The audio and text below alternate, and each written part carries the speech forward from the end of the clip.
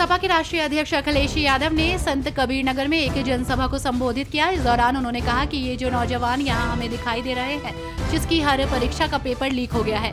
याद रखना नौजवान, ये आपकी परीक्षाएँ लीक नहीं हुई हैं, बल्कि नौकरी न देने पड़े, इसलिए जानबूझकर बीजेपी ने सब पेपर लीक करा दिए। उत्तर प्रदेश के उप मुख्यमंत्री केशव प्रसाद मौर्य ने सिद्धार्थनगर और जौनपुर में आयोजित हुई एक जनसभा को संबोधित किया। इस दौरान उन्होंने विपक्षी दलों पर जमकर निशाना साधा। उन्होंने कहा कि इस दौरान में सपा की साइकिल ध्वस्त होगी और कांग्रेस बुरी तरह से पराजित होगी। तो वहीं 2024 के चुनाव में भाजपा 400 का आंकड़ा पार करके सरकार बनाएगी।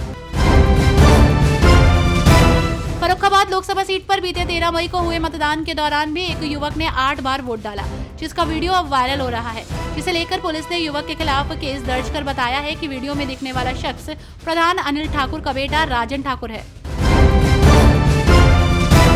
लोकसभा चुनाव के लिए पाँचवें चरण का हुआ मतदान। आज शाम छह बजे समाप्त हो गया। आपको बता दें कि कांग्रेस का गढ़ रायबरेली सीट को लेकर अब समाजवादी पार्टी भी कांग्रेस की मदद के लिए सक्रिय हो गई है। सपा भी कांग्रेस की रायबरेली फतेह करने के लिए अपनी कमर कस चुकी है। कौशाम्बी लोकसभा के कुंडा के प्राथमिक विद्यालय, यानी कि पूरे उत्तर मैदानी केंद्र पर भाजपा प्रत्याशी ने गड़बड़ी का आरोप लगाया है। जहाँ अपने आरोप में भाजपा प्रत्याशी विनोद सोनकर ने कहा कि बिना नाम और फ़ोटो के पीठासीन अधिकारी द्वारा चुनाव में ड्यूटी की गई है। जिसको लेकर भाजपा प्रत्याशी ने गड़बड़ी की आशंका जताते हुए मामले की शिकायत जिला निर्वाचन ऐसी की। बुंदेलखंड में झांसी के बाद दूसरी सबसे महत्वपूर्ण लोकसभा सीट बांदा चित्रकूट संसदीय क्षेत्र 48 है। इस सीट पर हैट्रिक लगाने के लिए भाजपा बेचैन है। इसके लिए पार्टी के स्टार प्रचारकों ने एड़ी चोटी का ज़ोर लगा दिया है। डिप्टी सीएम ब्रजेश पाठक, केशव मौर्य, मुख्यमंत्री योगी आदित्यनाथ और केंद्रीय गृह मंत्री अमित शाह ने मतदाताओं पर डोरे डाले हैं। पूर्वांचल की 10 ज़िले की 12 लोकसभा सीटों से चुनाव लड़ रहे मान्यता प्राप्त दलों के प्रत्याशी असलहों के शौकीन हैं। सर्वाधिक पाँच लाइसेंसी असलह, जौनपुर के सपा प्रत्याशी बाबू सिंह कुशवाहा और उनकी पत्नी शिव कन्या कुशवाहा के पास है, जिसमें राइफल रिवॉल्वर के साथ कई उपकरण बरामद हुए हैं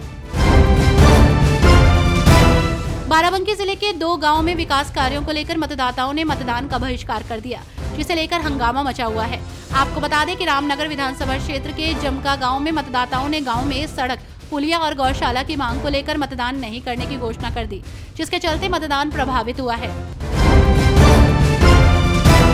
रक्षा मंत्री राजनाथ सिंह ने बड़ा बयान दिया है, जहाँ उनका कहना है कि इस चुनाव में विपक्ष पस्त पड़ा है। ऐसे मुद्दों को हवा दे रहा है, जो वास्तव में कहीं है ही नहीं। चाहे आरक्षण हो, संविधान हो या फिर अग्निवीर, सभी पर विपक्षी झूठ का सहारा ले रहे हैं। मुजफ्फरनगर जनपद में हस्ताक्षर के मामले में अभिनेता नवाजुद्दीन सिद्दीकी का भाई अयाजुद्दीन गिरफ़्तार कर लिया गया है। डीएम न्यायालय के पेशकार की शिकायत पर यह कार्रवाई हुई है।